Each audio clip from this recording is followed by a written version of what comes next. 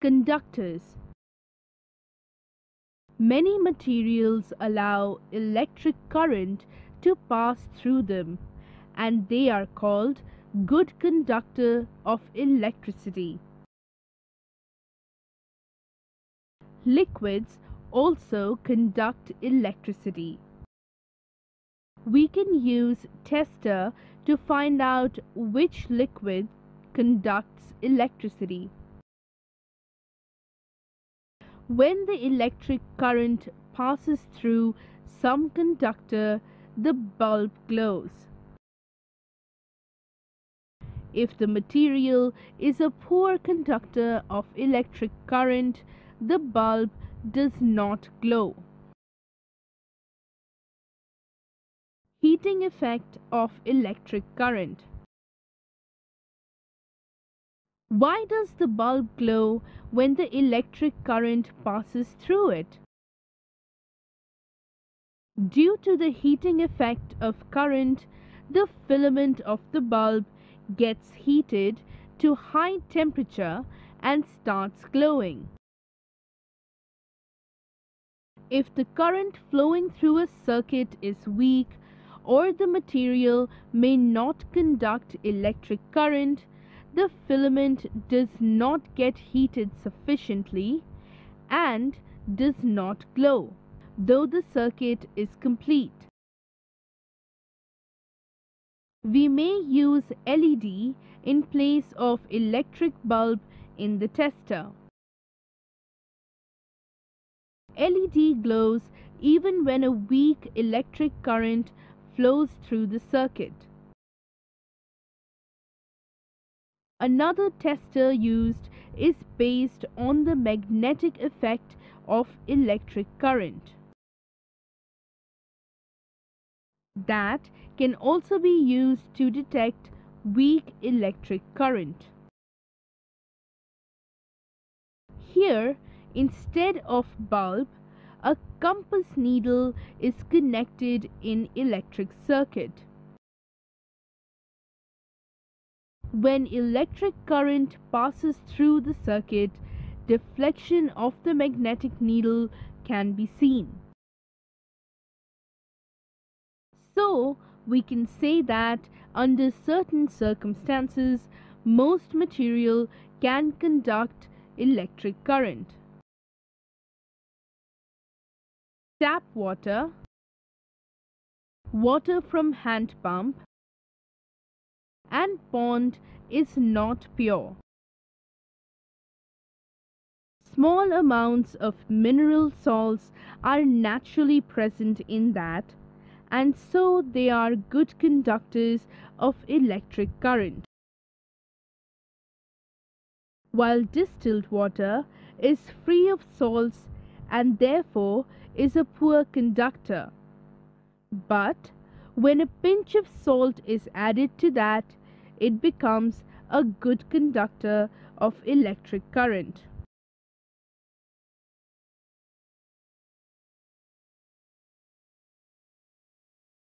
Chemical effects of electric current. What effect does the electric current produce when it flows through a conducting solution? Let us perform an activity. Take out carbon rods carefully from two discarded cells and clean their metal caps with sandpaper. Wrap copper wires around the metal caps of the carbon rods and join them to a battery. There are two electrodes. Pour a cup of distilled water in a beaker. Add a teaspoon of salt to water. Fully immerse the electrodes in this solution. Wait for 3 to 5 minutes. Observe the electrodes carefully. What do you observe? gas bubbles near the electrodes. Why? The passage of an electric current through a conducting solution causes chemical reactions. As a result, depending on the nature of solution and electrodes used, bubbles of gas may be formed on the electrodes, deposits of metal may be seen on the electrodes, change of color of solutions may occur. These are known as chemical effects of the electric current. Electroplating The process of depositing a layer of any desired metal on another material by means of electricity is called electroplating. It is one of the most common applications of chemical effect of electric current. Let's understand the phenomenon with this activity. Take 250 ml of distilled water in a beaker and dissolve 2 teaspoon of copper sulfate in it. Add a few drops of diluted sulfuric acid to the copper sulfate solution. Take two copper plates of the size 10 centimeters by 4 centimeters.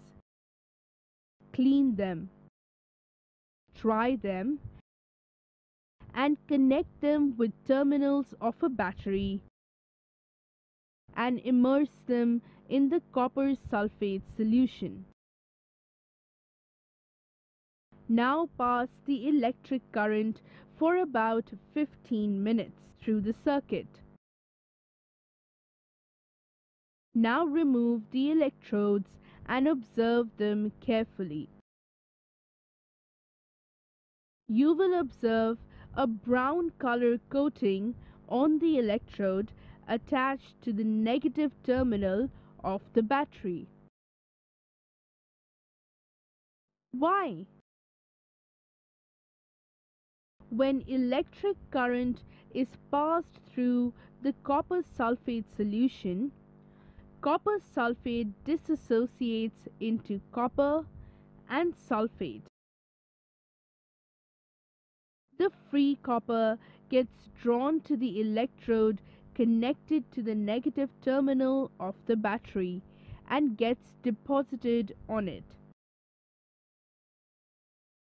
From the other copper plate, an equal amount of copper gets dissolved in solution. The loss of copper from the solution is resolved and the process continues. Electroplating is very useful process. It is used in industry for coating metal objects with a thin layer of different metals of desired property.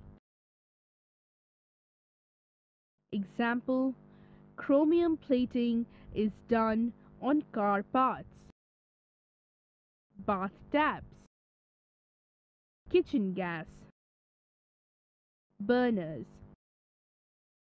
bicycle handles, wheel rims.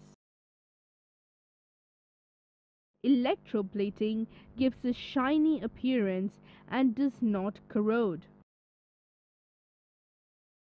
Jewelry makers electroplate silver and gold on less expensive metals. Tin cans used for storing food are made by electroplating tin onto iron and food does not come in contact with iron and is protected from getting spoiled. A coating of zinc is deposited on iron to protect it from corrosion and formation of rust, and then used to build bridges and automobiles and to provide strength.